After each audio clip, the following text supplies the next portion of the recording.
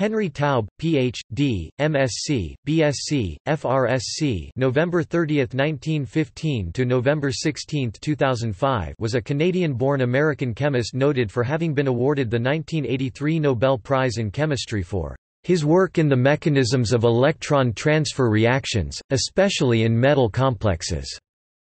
He was the second Canadian-born chemist to win the Nobel Prize, and remains the only Saskatchewanian-born Nobel laureate. Taube completed his undergraduate and master's degrees at the University of Saskatchewan, and his Ph.D. from the University of California, Berkeley. After finishing graduate school, Taube worked at Cornell University, the University of Chicago and Stanford University. In addition to the Nobel Prize, Taube also received many other major scientific awards, including the Priestley Medal in 1985 and two Guggenheim Fellowships early in his career 1949 and 1955, as well as numerous honorary doctorates. His research focused on redox reactions, transition metals and the use of isotopically labeled compounds to follow reactions. He had over 600 publications including one book, and had mentored over 200 students during his career. Taube and his wife Mary had three children, his son Carl is an anthropologist at the University of California Riverside. Education At 12, Taube left his hometown and moved to Regina to attend Luther College where he completed high school. After graduating, Taube stayed at Luther College and worked as laboratory assistant for Paul Liefeld, allowing him to take first-year university classes. Taube attended the University of Saskatchewan, receiving his BSc, in 1935 and his MSc in 1937. His thesis advisor at the University of Saskatchewan was John Spinks.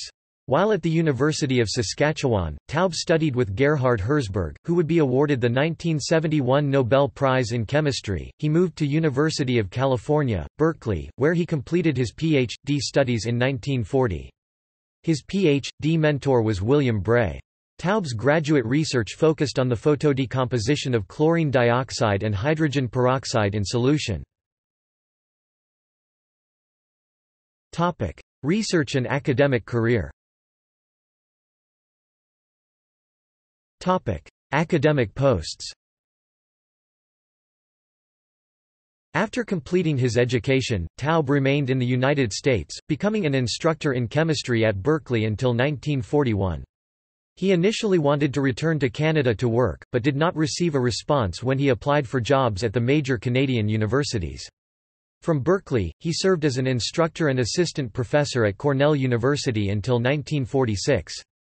During World War II, Taube served on the National Defense Research Committee. Taube spent time at the University of Chicago as an assistant professor, associate professor, and as a full professor from 1946 to 61. He served as chair of the chemistry department in Chicago from 1956 to 59, but did not enjoy administrative work.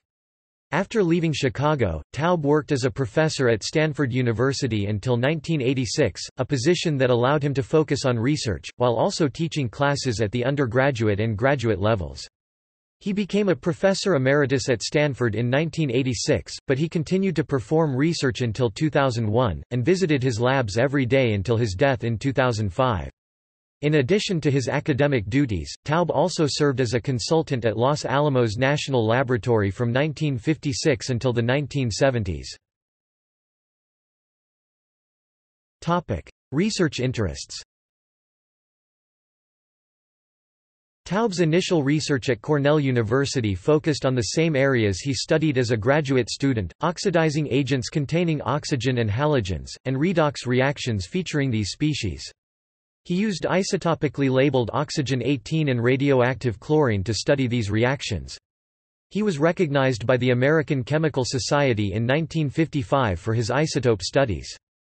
Taube's interest in coordination chemistry was sparked when he was chosen to develop a course on advanced inorganic chemistry while at the University of Chicago. He was unable to find much information in the textbooks available at the time. Taube realized that his work on the substitution of carbon in organic reactions could be related to inorganic complexes. In 1952, Taube published a key paper relating the rates of chemical reactions to electronic structure in Chemical Reviews.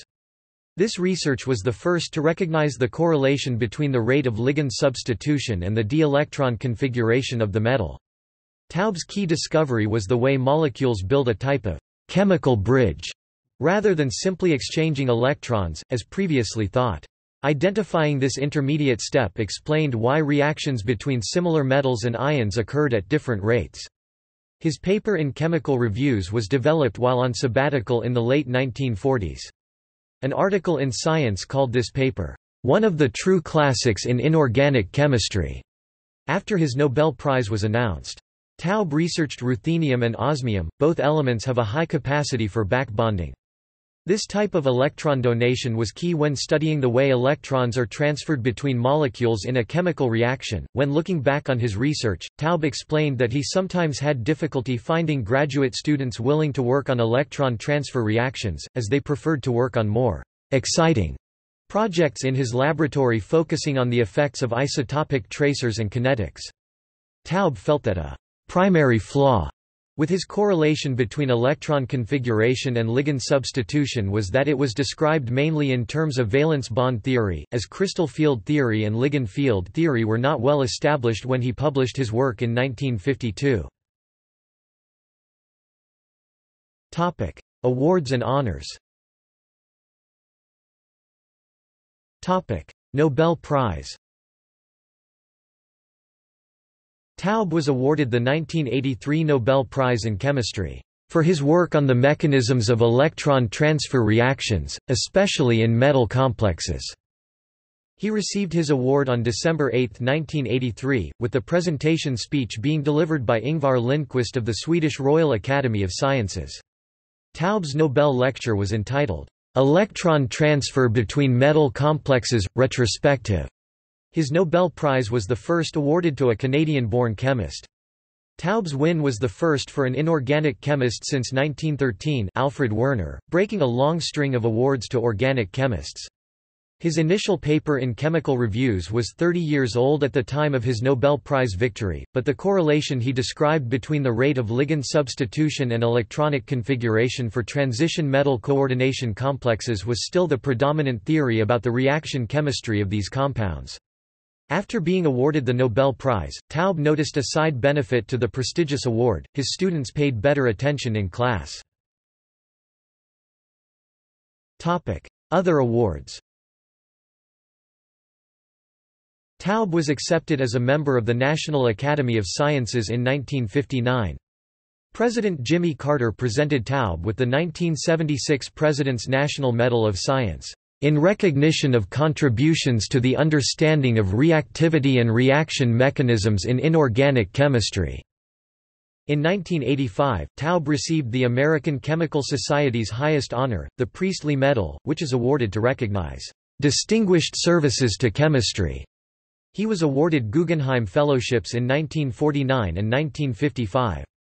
Taube was made an honorary member of the College of Chemists of Catalonia and Baleares 1984, the Canadian Society of Chemists 1986, and the Hungarian Academy of Sciences 1988. He was also awarded an honorary fellowship in the Royal Society of Chemistry 1989 and the Indian Chemical Society 1989 and elected a Fellow of the Royal Society FRS in 1988.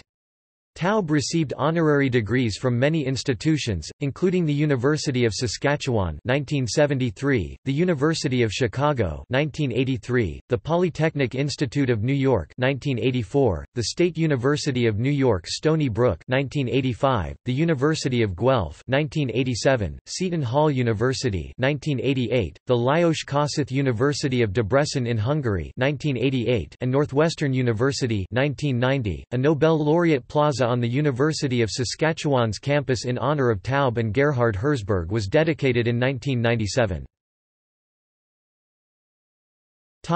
Legacy In 1981, Taube became a founding member of the World Cultural Council. As of 1997, Taube had over 600 publications, and had worked with over 250 students. He published a book, Electron Transfer Reactions of Complex Ions in Solution Current Chemical Concepts in 1970. His students have had faculty positions at many prestigious universities, including Cornell, Rutgers, Georgetown and Georgia Tech. Together with graduate student Carol Creutz, he is the namesake of the Creutz-Taube complex, a metal complex with the formula Ru NH3 5 C4H4N2 5+. His research contributions have been honored in several ways, including a symposium at the 1982 annual American Chemical Society meeting. The annual series Progress in Inorganic Chemistry dedicated its 30th volume to Taube, entitled, An Appreciation of Henry Taube. Luther College in Regina, Saskatchewan offers an annual scholarship to an entering science student in honor of Taube and his science teacher, Paul Liefeld. A seminar series was created in honor of his work at Stanford. Taube gave the inaugural lecture in the series. Colleagues remember Taube as a dedicated scientist. Jim Collman of Stanford said, Henry was a scientist's scientist and a dominant figure in the field of inorganic chemistry. Harry Gray, a professor at California Institute of Technology said, He was in a class by himself, a role model and leader whom we all admired and loved. Former student Peter Ford remembers that Taube made chemistry not only challenging and stimulating, but a lot of fun as well. Personal life Taube was born November 30, 1915 in Neudorf, Saskatchewan as the youngest of four boys. His parents were German ethnics from Ukraine which had immigrated to Saskatchewan from the Ukraine in 1911. Growing up, his first language was Low German. In the 1700s, Catherine the Great encouraged Central European farmers to settle in Russia. As the rights afforded to these settlers by Catherine were gradually diminished, many of the settlers headed to North America, with Saskatchewan offering good farmland, and other incentives for immigrants. Taube reflected fondly on his experiences growing up in Saskatchewan, noting, Certainly, there is nothing about my first 21 years in Saskatchewan, taken in the context of those times that I would wish to be changed. The advantages that I enjoyed include, the marvelous experience of growing up on a farm, which taught me an appreciation of nature, and taught me also to discipline myself to get necessary jobs done.